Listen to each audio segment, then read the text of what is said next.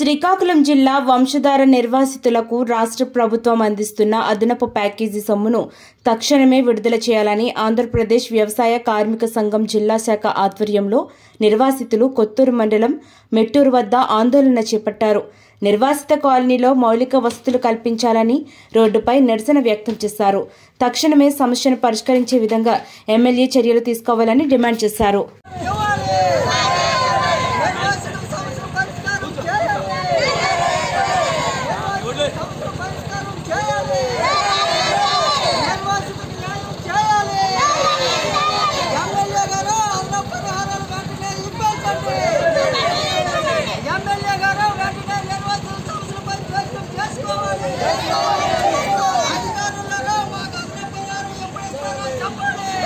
Vai, vai, vai.